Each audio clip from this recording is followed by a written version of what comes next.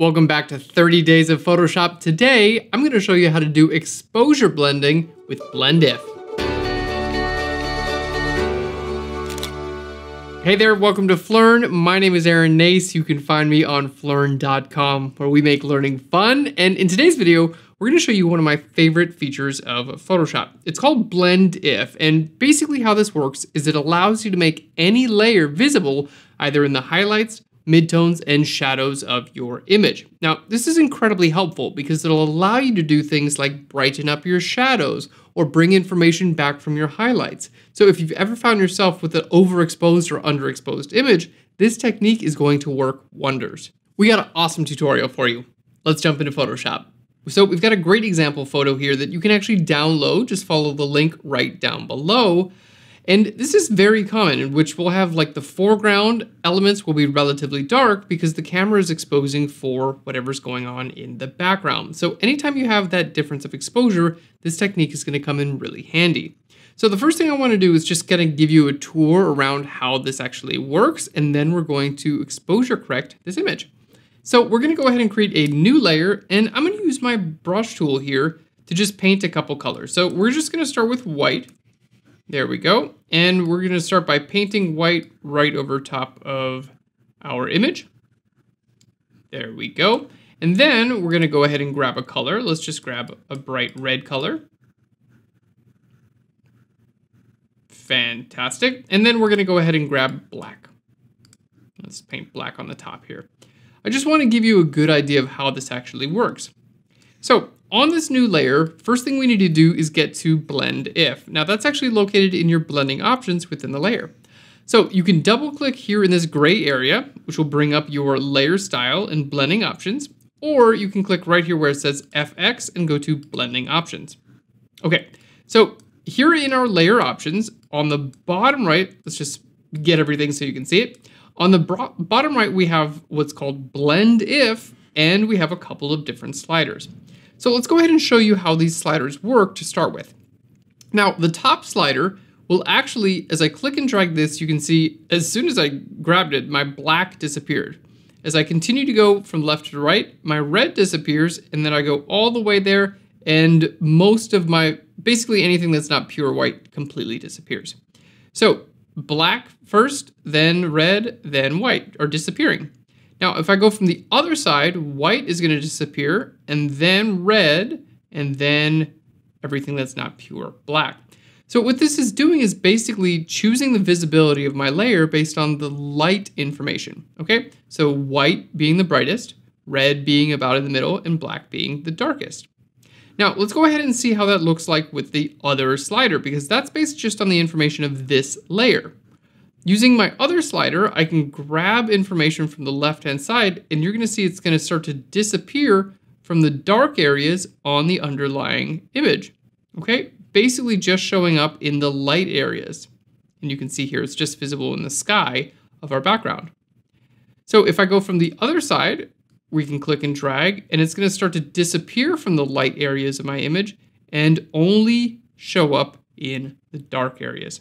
So this is incredibly useful because any layer based on the values of the layer itself or the rest of your image, you can make visible based on the light, midtones, and dark information.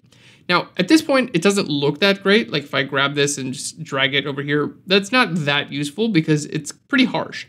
But what we need to do is hold Alt or Option and click and drag, and this is gonna introduce feathering. So if you just have one little slider, what you need to do is hold Alt or Option, click and drag, and now you've got two sliders.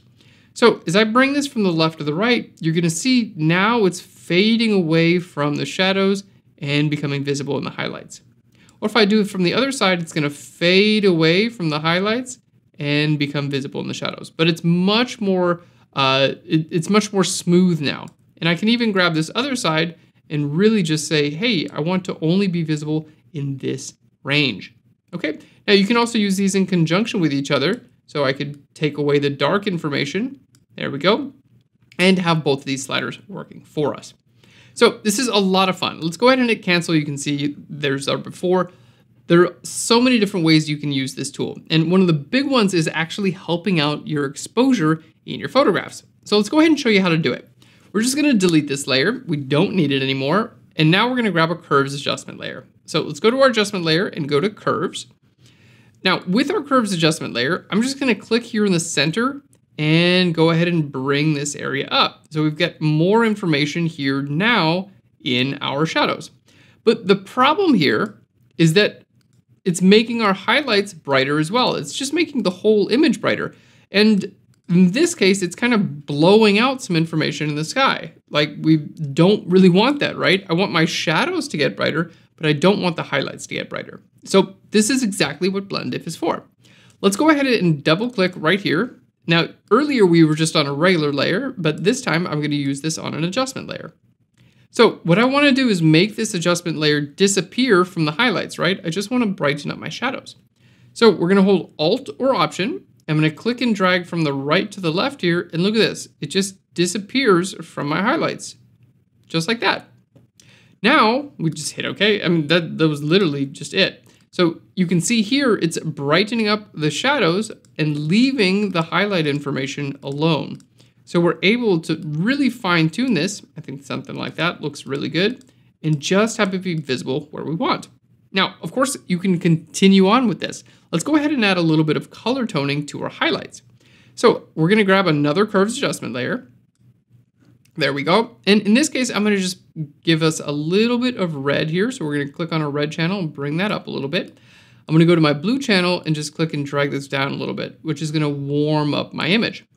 Now, again, this is visible everywhere, not a horrible thing, but let's just say I wanna warm up the highlights of my image, like where the light is actually touching. So we can double click here.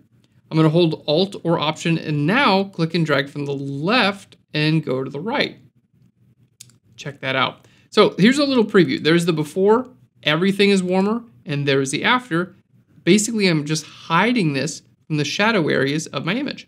So let's go ahead and hit OK, and I'm gonna turn this off and on and you can see what we've done. We've warmed up the highlights in my image, which looks like warm sunlight is coming through the window.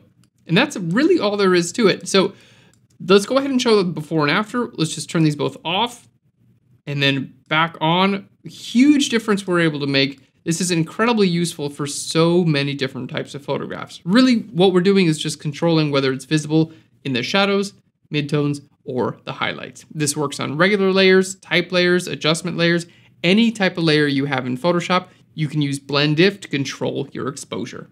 Thank you so much for watching. I hope you enjoyed this tip. This is actually one of my favorite things to do in Photoshop. It's just so incredibly useful for just about any photo you throw at it.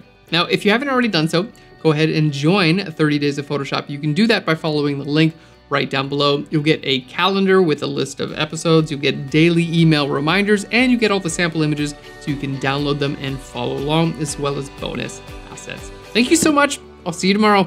Bye, everyone.